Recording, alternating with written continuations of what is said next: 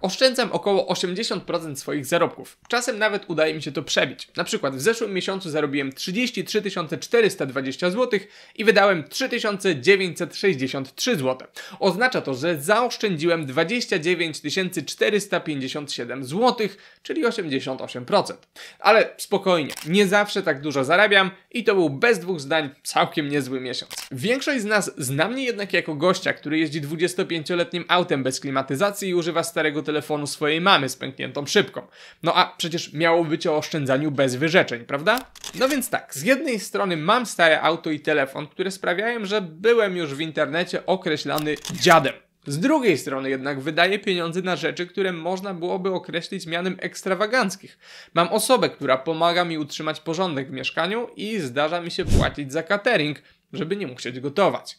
Ktoś mógłby powiedzieć, że od pieniążków poprzestawiało mi się w głowie. Nie wiem ile znacie osób, które jeszcze na studiach korzystały z usług sprzątających, ale ja nie znam żadnej. Jednocześnie sam korzystałem, więc może coś faktycznie mi się poprzestawiało. No ale niemożliwe jest, żebym jednocześnie był dziadem i w tym samym czasie odbiło mi od pieniążków. W pewnym sensie jednak jedno i drugie zdanie jest prawdziwe. Pozwólcie mi, że wytłumaczę Wam mój punkt widzenia oraz moje podejście do oszczędzania. Chodzi w nim o to, że wydając pieniądze kieruję się własnymi wartościami i potrzebami, a nie presją społeczną. W moim przypadku oznacza to, że nie kupuję samochodu, ponieważ nie mam takiej potrzeby. Nie ma dla mnie znaczenia, co na ten temat uważają inni. Dopóki ta opinia nie ma wpływu na rzeczy dla mnie ważne, nie przejmuję się nią. Kiedy mogłaby mieć znaczenie? No na przykład jeśli potencjalni klienci nie traktowaliby mnie poważnie, bo mam stare auto. Wtedy faktycznie tą opinię otoczenia warto byłoby wziąć pod uwagę. W moim przypadku nic takiego się nie dzieje. Moja firma działa online, a klienci są tysiące kilometrów stąd. Sprawia to, że przez większość czasu jestem w domu. Nie jeżdżę za dużo autem. Zwykle korzystam z niego raz w tygodniu, żeby podjechać na większe zakupy do sklepu.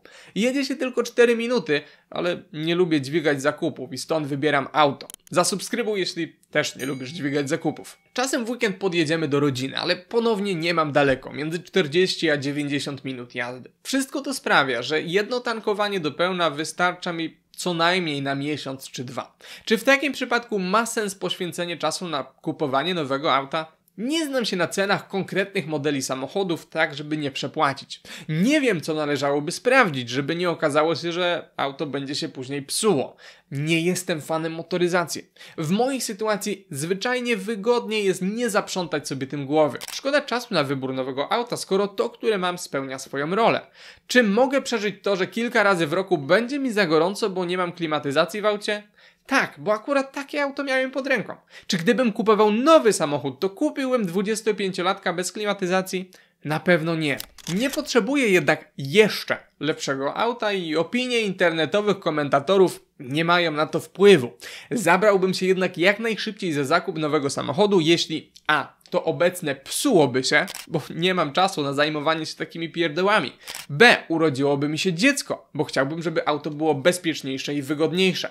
C. Gdybym miał tyle luźnych pieniędzy, że mógłbym spełnić swoje motoryzacyjne marzenie. Tak, mam takie, mimo że nie jestem fanem motoryzacji. No i D, jeśli wszyscy oglądający zostawiliby łapkę w górę dla YouTube'owego algorytmu. Podobnie jest ze starym telefonem. Wszystko działa i aktualny sprzęt spełnia moje potrzeby. W dodatku jest tej samej marki co mój poprzedni telefon, dzięki czemu dane wygodnie się importują.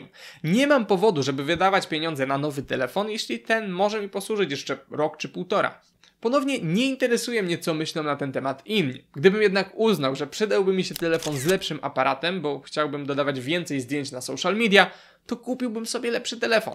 Wydając pieniądze, kieruję się własnymi wartościami i potrzebami, a nie presją społeczną. To z tego samego powodu wydaję pieniądze na rzeczy, które dla większości osób nie są konieczne, jak usługi sprzątające czy catering. Od najmłodszych lat przeszkadzały mi obowiązki domowe, jak sprzątanie, gotowanie, prasowanie były dla mnie marnowaniem czasu i zawsze chciałem, żeby było mnie stać na to, żebym mógł komuś zapłacić za robienie tego za mnie.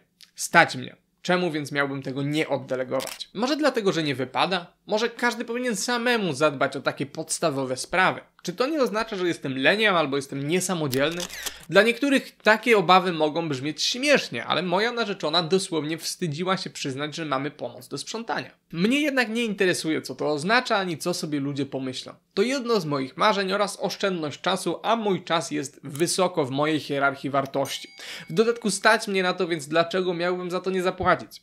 Jeśli ma to zrobić ze mnie lenia w czyichś oczach, to niech tak będzie. Przynajmniej będę leniem z zasobnym kontem bankowym. Wielką radość sprawiło mi też na przykład zapłacenie za wakacje moich rodziców. Podobnie, nie spodziewalibyście się takiego gestu od dziada, który jeździ starym autem i szkoda mu pieniędzy na telefon. A jednak, zrobienie czegoś miłego dla moich bliskich, odwdzięczenie się za wspólne lata razem i ułatwienie im zobaczenia świata są spójne z moimi wartościami. Oznacza to, że nie szkoda mi wydawać na to pieniędzy. Co więcej, sam też byłem w zeszłym roku na wakacjach all inclusive na Teneryfie, bo też czasem chcę czegoś doświadczyć. Nie muszę jednak pokazywać tego wszędzie na Instagramie i dlatego większość z Was w ogóle nie miała o tym pojęcia. To, co próbuję powiedzieć, to że w mojej opinii nie należy bać się ani dziadowania, ani rozrzutności. Pieniądze są przecież jedynie narzędziem do tworzenia życia, o jakim marzycie. Trzeba je więc wykorzystywać adekwatnie do przeznaczenia, a więc spełniać swoje marzenia, a nie marzenia innych. Jednocześnie na pytanie, jak oszczędzam 80% swoich zarobków bez wyrzeczeń, jest tylko jedna prawidłowa odpowiedź. Są to oczywiście wysokie zarobki. Są one najprostszym i najlepszym sposobem na większe oszczędności. Bez nich nie byłoby to możliwe. Jeśli chcecie posłuchać o tym, jaki jest jeden czynnik, który pozwala mi na tak dobre zarobki, to zapraszam na ten filmik, gdzie opowiadam o tym, jak zgromadziłem pół miliona w wieku 26 lat bez bogatych rodziców. Do zobaczenia po drugiej stronie.